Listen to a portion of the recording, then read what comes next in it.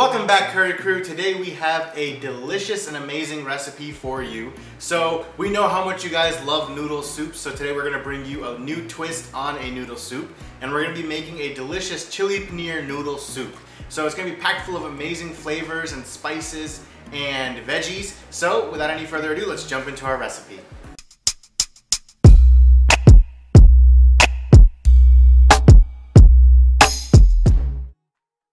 Today we are back with another delicious noodle soup recipe, this time with a twist. So for our chili paneer noodle soup, the first step is to take two pans, one non-stick and another saucepan. Into both we're going to add in one tablespoon of oil and we're going to allow it to heat up over low heat.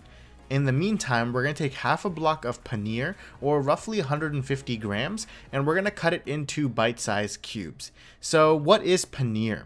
Paneer is kind of like an Indian cottage cheese. It's like an Indian version of tofu, but it doesn't have its own really strong taste. But whatever you put it into, it's going to absorb all those delicious flavors and it's going to be absolutely amazing. In my personal opinion, I think it's like 10 times better than tofu, but you know, don't tell all the tofu lovers out there. Now what we're going to do with this is we're going to get it sauteed separately in a non-stick pan. This will allow the outside of the paneer to get nice and crisp while the inside remains soft. Next, we're going to take a one inch piece of ginger and we're going to chop it up into a fine dice. This, along with the garlic, will be the base of our dish. Once your oil is hot enough, add the paneer cubes into the non-stick pan and then we're just going to allow them to saute for about 10 to 15 minutes or until the outsides are golden brown. You can cover the pan with a lid to prevent any oil from sputtering out. You can now also add the ginger into the other pan. Next, take 3 cloves of garlic and chop them into a fine dice, just like our ginger. And quick tip for peeling garlic. Take your knife and lay it flat side down on the garlic and then press down slightly on the flat part of the knife and the garlic peel should be a little bit easier to remove now.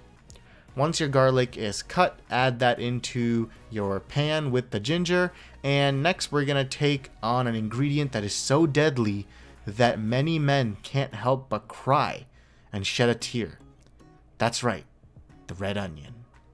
So we're going to be using a medium-sized red onion and we're going to cut it into slices. All the while we are holding back and trying not to season our dish with our tears. And once our onions are chopped, add them into the pan and now give it a nice mix, mix, mix, mix, mix.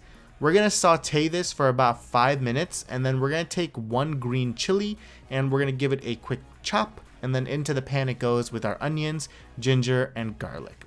Of course we have chili in this recipe, right? We can't call it chili paneer without the chili. So give it a quick mix, mix, mix, mix, mix, and then into this add in 2 tablespoons of soy sauce, 2 tablespoons of chili sauce, and give it all another nice mix, mix, mix, mix, mix. Make sure to check on your paneer as well. You can flip the pieces halfway through if they are golden on one side. Next, add to your saucepan 2 cups of vegetable stock and give it another mix, mix, mix, mix, mix, and then add in salt to taste. Like always, we add a little bit at first and then add more if needed, but never overdo it. Also, you can add in a pinch or two of sugar to balance out the spicy and salty elements of our dish. Give it a nice mix, and then we have some mini bell peppers that I'm going to start chopping up just to get them ready for later. If you don't have many bell peppers, one regular sized one is fine. Right now I am just removing the seeds and giving it a rough chop.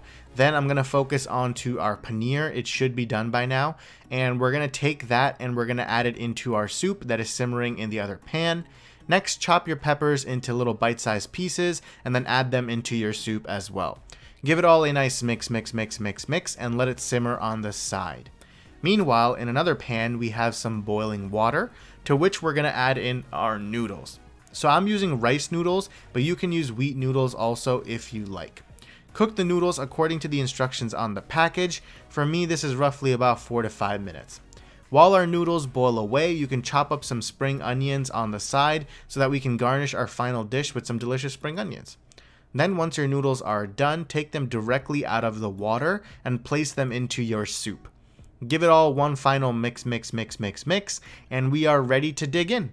So here we have our final noodle soup.